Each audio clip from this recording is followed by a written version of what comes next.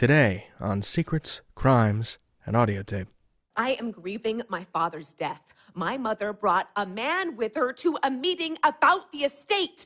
That is so insulting to my father. Your father's dead. His feelings don't matter. Max! Susanna, you made a big scene in the lobby. You made your point. I don't like this weepy, weepy, wah wah thing you're doing. I don't respect it. I read about these families. Craziest thing, Max. When someone in the family is in pain, the other family members do this thing called nurture. You ever heard of that? Nope. It's not a distinction, Susanna. A parent's death, it is the most common of milestones. Let me tell you something. Susanna can be fixed. I'm not worried about Susanna. Your financial health, on the other hand. Lester and I will meet you downstairs. We'll share a meal and some good wine. We'll talk business in the morning.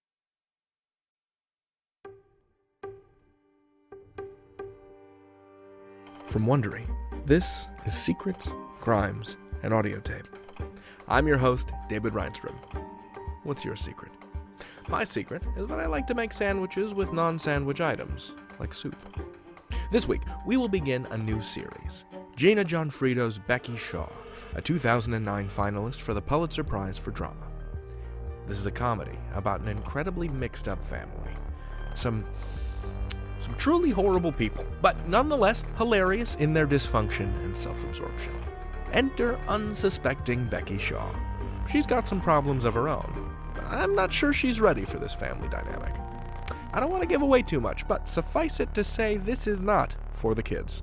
Now, this episode is going to sound a little different from what you've heard previously on SCA because it was recorded in front of a live audience. So, don't be alarmed if you hear people laughing along with you.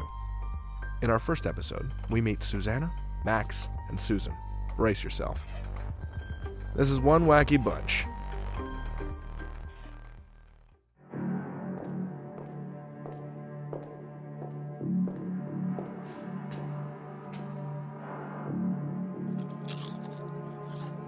The young mother had been stabbed 37 times.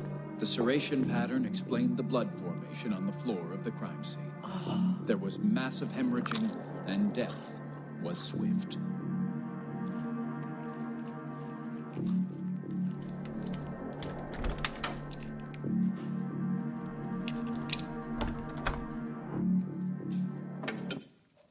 Hey, I'm watching that. He strangled her. She's not coming home. Turn it back on. No, I cut you off. Remember, you're not allowed to watch that stuff. It soothes me and I need it. Don't judge me. I'm not judging you. I'm disciplining you. I did nothing wrong. My mother is the one who showed Stop. up. I just spent 40 minutes calming your mother down, and she will be here soon. You need to be a big girl and face your big girl problems. No more dead prostitutes on the autopsy channel until you do that. Why do you have a key to my room? Because I paid for it. oh, did you pay for my mom's room too? Yes. Because we're poor now? That's what we're all going to talk about at dinner. Your mother will be here soon. I've decided I won't see her. Excuse me, what? I am grieving my father's death. My mother brought a man with her to a meeting about the estate. That is so insulting to my father. Your father's dead. His feelings don't matter. Max, Susanna, you made a big scene in the lobby. You made your point. I won't see her. So, how's this gonna work? I go to dinner with your mother and her man friend. You stay here and cry while she takes all the money? You would never let that happen. You know, I might. I don't like this weepy, weepy, wah wah thing you're doing. I don't respect it. Max, I'm grieving. Negotiations are all about who has the biggest dick in the room. Be sad, grieve, but do it with a big dick. Grieve with a big dick. That's not possible. Uh, Charles Bronson and Death Wish. Rambo, Mrs. Voorhees and Friday the 13th. None of those people are real, Max. Susanna, you gotta pull it together. Clock strikes midnight, you can regress. Light your vanilla candle and write in your dream journal. Until then, you're a soldier, fix yourself up. In one of my textbooks, I read about these families. Craziest thing, Max. When someone in the family is in pain, the other family members do this thing called nurture. You ever heard of that? Nope. Mm. No crying, big dick.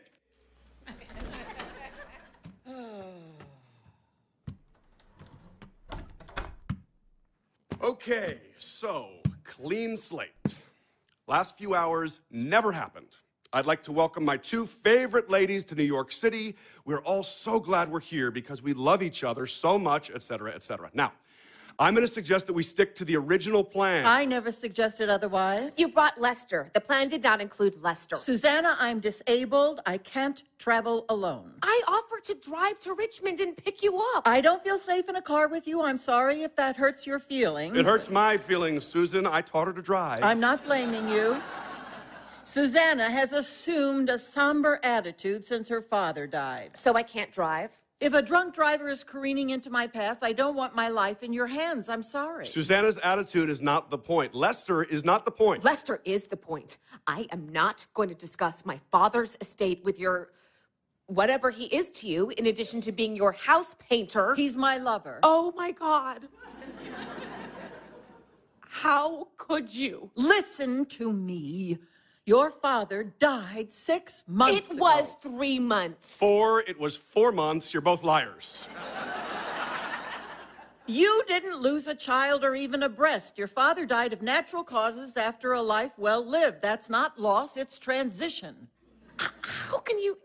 It's a huge loss. It's an old man dying peacefully. It's not tragic. he was my dad. and you're an adult. This this is a costume. Wha- what, my clothes? The black dress.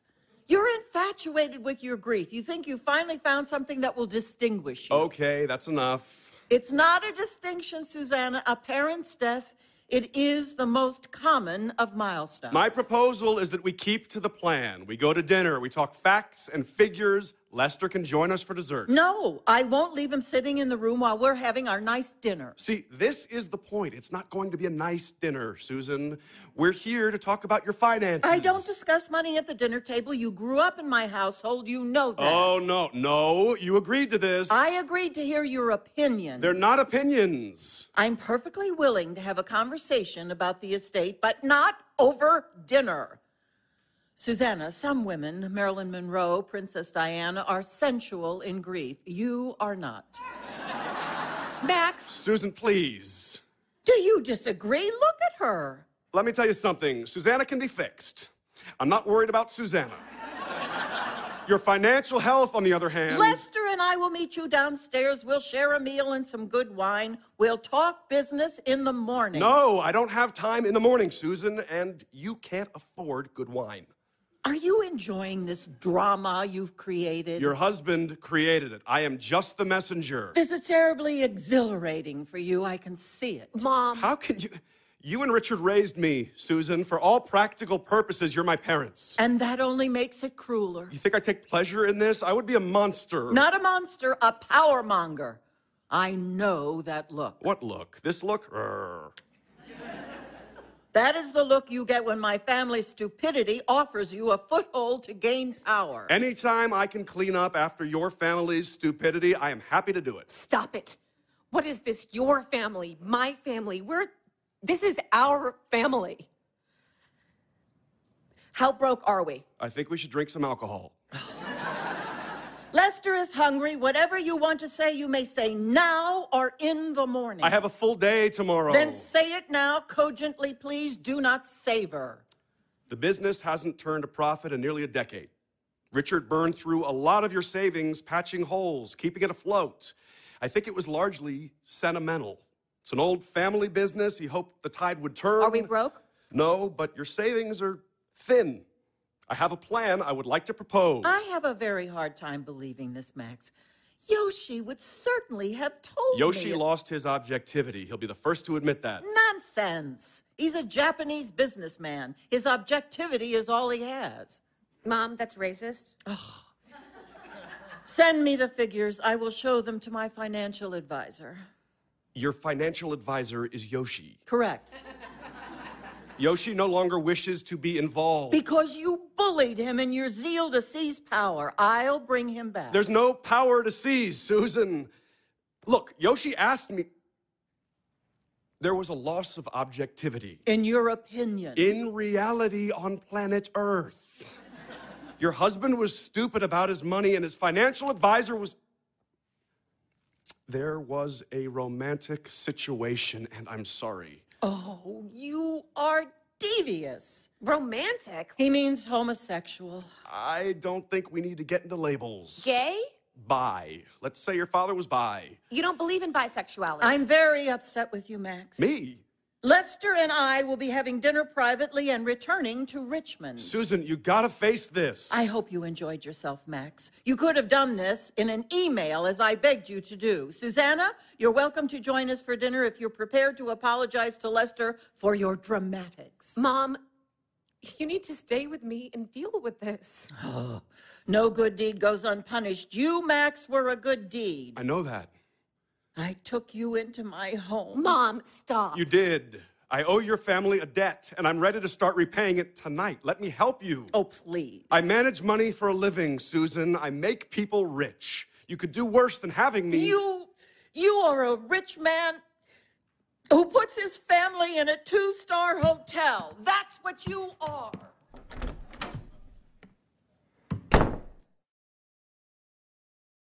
Ooh. You're gonna have to hire someone else to do this. There's, there's too much history. This is a three star hotel. Max, I'm sorry. I think the MS is catching up to her. Since when does she run from a shitstorm? She likes other people's shitstorms. This is too close. Is that it? You know, the day of my mother's funeral, she bought me a suit. I'm 10 years old. I'd met her like once. Mm-hmm. She took me to the fat child department at Sears. She said, Your mother is dead and your father dresses you like a gay hustler. Max, that's awful. Why have you never told me that? Yeah, it was awful at the time, but she saved me from walking into my mother's funeral looking like a gay hustler. Everybody else was blubbering all over themselves. She's the only person who had my back. Your dad and Yoshi.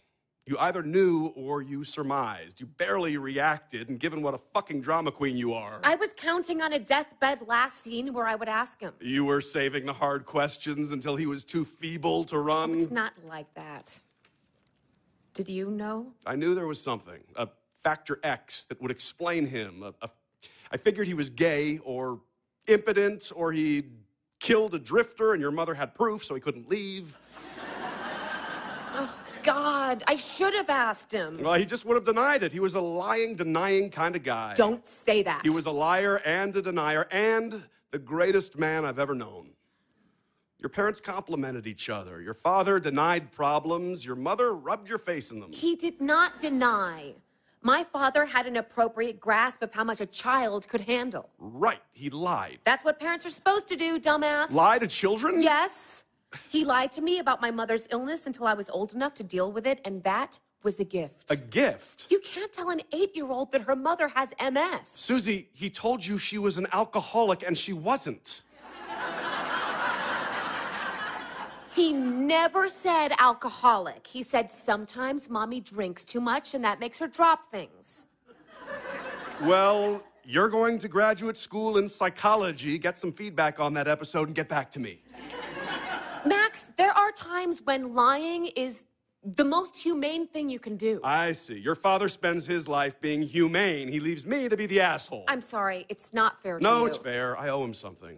He was generous to me beyond all reason. He was generous to you because he adored you. Well, when my father and I showed up at your house to say my mother had died, both of your parents said, I'm sorry, Matt. they said, Max, you misheard them. It's fine. I know I was your dad's good deed. I mean, it wasn't pure charity. He thought an orphan in the house would make your mother behave better. Well, that's true, but it didn't work, did it? She stayed evil and he kept you anyway. because he loved you. It was a bold move, adopting a child to shame your wife into being less abusive. That took some balls. Can I finish graduate school? Yes, you're not rich anymore, but you're not the fucking Joads. So, what do we do? Sell the company, sell the house. Your mother can get a full service apartment. They carry the groceries, they clean. The rest of her needs, Lester can pick up the slack. Lester is the slack. He's a rent boy. Yes, he is, and it's honest work. No, it isn't. Lester will do everything your father did for your mother. Whatever his price, it's worth it. No. What's your solution? You gonna move home and help her? God, no. She needs to hire someone. The money isn't there, Susanna. Her health is gonna decline, and Lester is a decent guy. He's dumb and he's our age. He's not dumb. He's a redneck, but he's he's a sort of alternative redneck who wants to make a movie. Oh, so that's why he's with her? Fuck that. You want your freedom? Open your eyes. Your freedom is Rent Boys and Redneck Cinema. You are talking about prostitution. Prostitution, marriage, same thing. It's two people coming together because each has something the other wants. Boy. You don't believe in love. Sure, I do. Love is a happy byproduct of use. A happy byproduct of use. What the fuck does that mean? Susanna, we're animals. Love is just, it's a feeling, like hunger, like cold. It's a feeling that tells you what you need to survive. A sandwich, a sweater, an orphan, a Lester. Stop calling yourself an orphan. Do you think all love is use or just romantic love? All love. Your father, for example, paid our college tuition. We, in turn, loved him very much. I hate when you do this. Do what? Turn a beautiful thing to shit. Understanding behavior is not turning it to shit. Oh, you're saying my father was generous with us because he couldn't love men. Is that it? I think if your father had been more self actualized, I'd have college loans. I do believe that. I don't. And now I want to stop talking about this. You're getting a PhD in psychology. How are you so totally unwilling to ask the hard questions? I ask them when it's necessary. When there's no problem, it's like shoving your face in the toilet after you shit. You can do it, but it's not necessary. Wow, you're gonna make an interesting therapist. I'm proud of you. I just told you you're broke and you have a gay dad, and you're. I feel like I can go to bed and not worry about you. You worry about me? Since when? Of course, I worry about you. You're a mess. My father's only been dead three months. It's four months. God! It's long enough to grieve. You have too much time on your hands. I'm in a PhD program, Max. in psychology.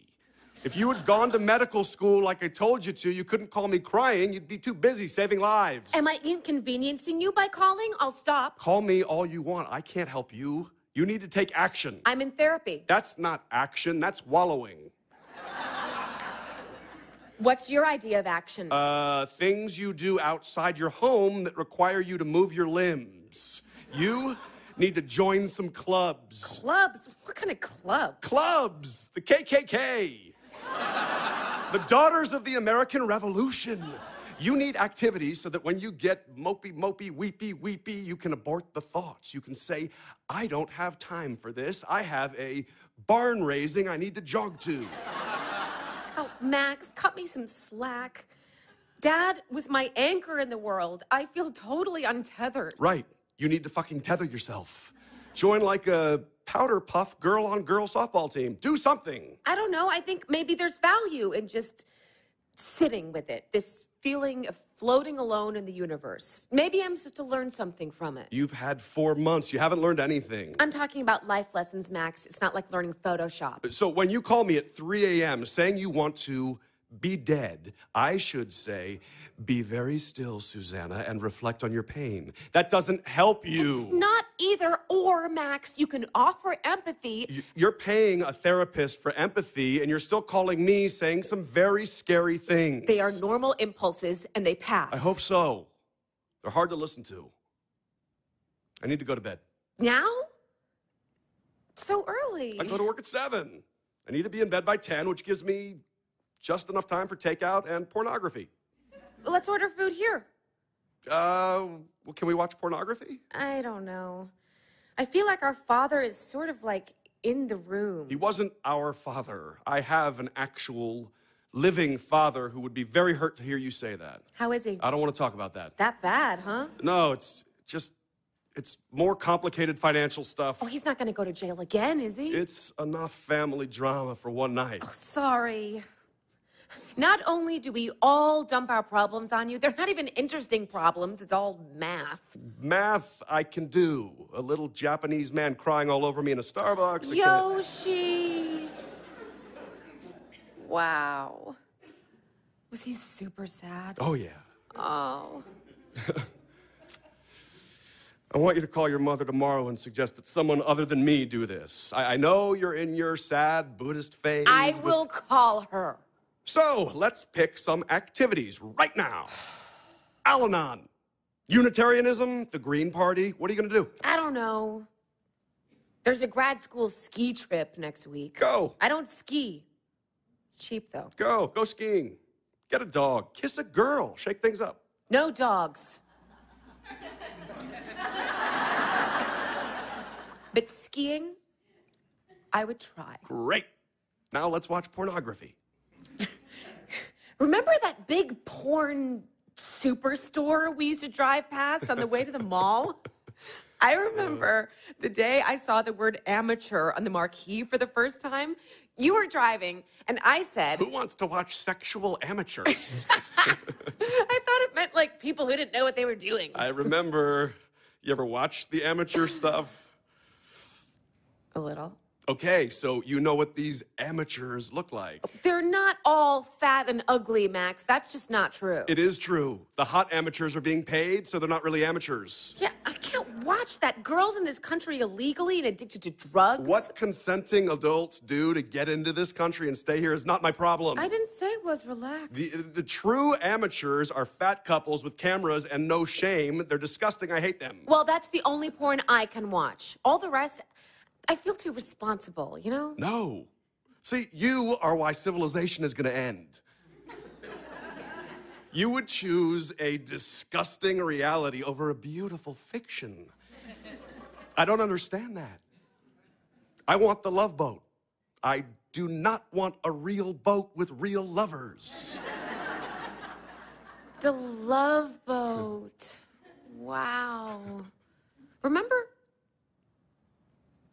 the Saturday your mom died?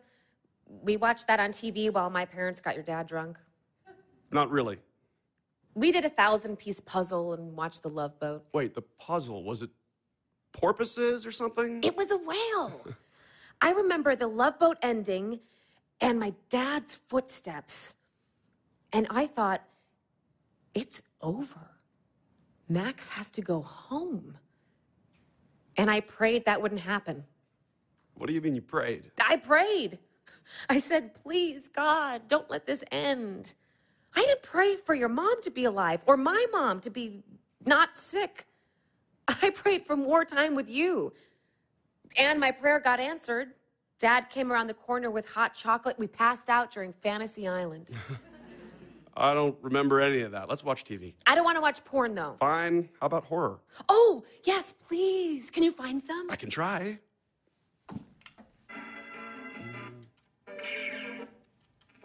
Now I want hot chocolate. Hot chocolate and horror. That is what I want more than anything in the world. Don't pray, or if you do, don't squander it. Pray for money. I would never pray for money. Okay. Okay, here, look. Nightmare on Elm Street. But but which one? Hundred bucks if you know. It's. Oh, give me a second. I- I- it's three. Freddy's about to say, Where's the bourbon, bitch? Uh, you're right. Good call.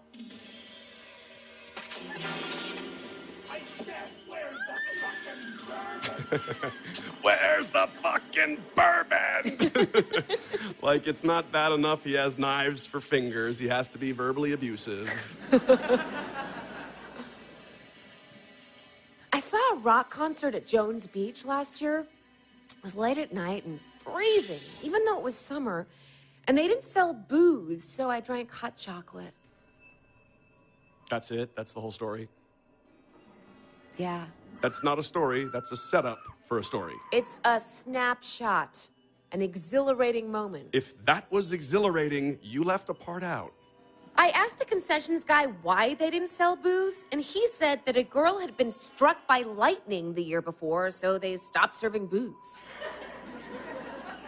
That makes absolutely no sense. The guy next to me bought a Coke, and the concessions guy poured it out of the bottle into a cup. And again, I asked why. And he said that somebody had thrown a bottle on stage the night before and hit the singer in the head, so no more bottles. Oh, okay. I got it. The point. Fantastic. I had this moment, this wave of exhilaration came over me, and the exhilaration was feeling it was worth it. People getting struck by lightning and whacked in the head with bottles. A certain amount of brutality was worth it to see a rock concert next to the ocean. The night your mom died felt like that. You know? My mother was sick, yours was dead, but I felt so happy to be with you. Maybe that's how life works, you know? All these hideous things, but you get little pockets of joy to get you through. Rock concerts on the ocean, puzzles and TV. Max, I, I, I can't. You're my brother. I'm not your brother. I think your mother hammered that point home. Okay, you're my money manager. I am. Keep kissing me. I might take that responsibility seriously. I can't. You don't want to. I really want to. So what's the problem? It's epic. It's It doesn't have to change anything. really. Really?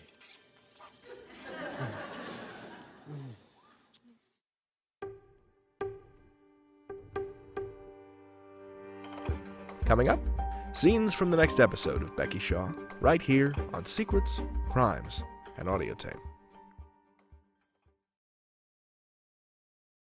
You know, Max, this is why you don't have a girlfriend. Your mother is why I don't have a girlfriend? Actually, there is probably some truth to that.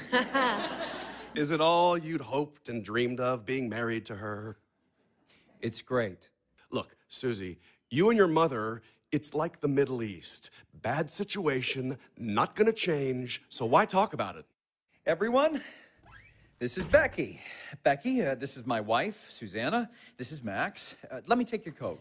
Nice to meet you all. Or both. I don't really feel I'm making a good impression. You're doing great. Please, I'm the one making a bad impression. if you're not at your best, it's only because I am not at mine. So you agree I'm not at my best? Oh dear Becky, you are in for a rough ride. It's gonna get real weird real fast. I'm not sure I would set Max up with my dog. No, I wouldn't. Dogs are loyal and kind. That would be wrong. Hey, and, and guess what? If you like today's episode, you're in luck because episode 2 is coming out tomorrow. We heard that you like getting the first two episodes in a row to binge listen, so go nuts, Secret Keepers. Becky Shaw is written by Gina Gionfriddo, who was nice enough to talk to me about this episode. Let's hear a clip of our conversation. Uh, Becky Shaw begins with a kind of gory true crime drama on Susanna's TV, which she's taking in as a kind of guilty pleasure. Yes. I'm, I'm curious about how you got started in crime fiction. And did working in crime fiction leak over into that first scene? Um, you know, I'm embarrassed to say it was it just has always been my pleasure reading true crime um, ever since I was in high school. Um, so I think uh, it's my guilty pleasure too.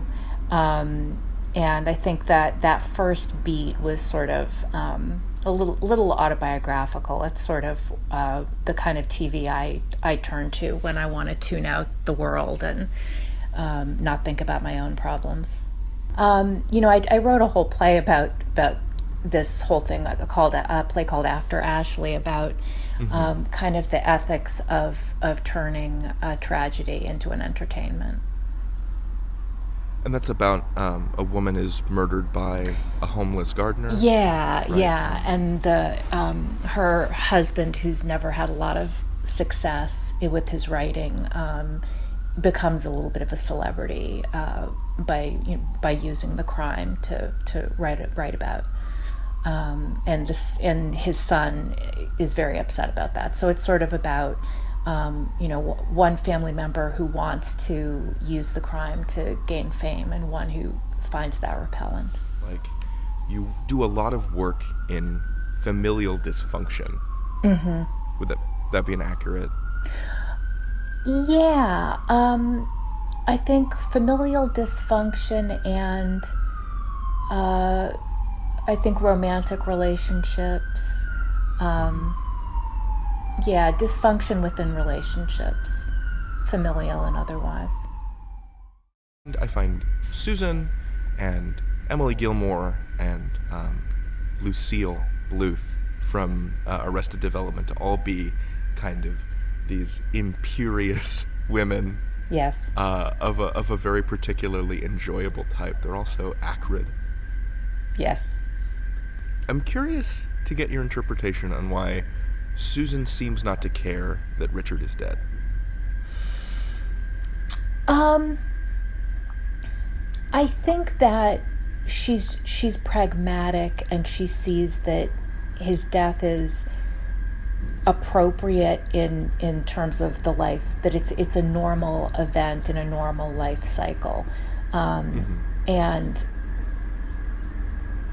you know that it's funny now that you mentioned it you know my my own mother died last year but in the in the lead up to it um, you know uh, she really uh, did not you know i was very very upset obviously and um, but she really you know was trying to impress upon me you know she was 86 years old um, that she had lived a good life that there was that it really wasn't it wasn't um, an event worthy of of you know such such despair i guess i wrote i guess i wrote the the, the scene before i lived it but um, I think that uh, the reason Susan is as as uh, cold about it as she is is that she just um, feels like he lived a normal life. He lived, you know, a long life, and mm-hmm. it is what it is. So Richard, the dad, is such a mystery in this play because mm-hmm. he's dead from the very beginning. So we're only ever informed about his life rather than getting to witness it. Right. Um, from your vantage point as the playwright, how do you see that character? What's your what's your read on Richard? Um, my read on him is that he was probably in the closet. I think that um, he's someone who would have would have been an out gay person if his era had made that easier.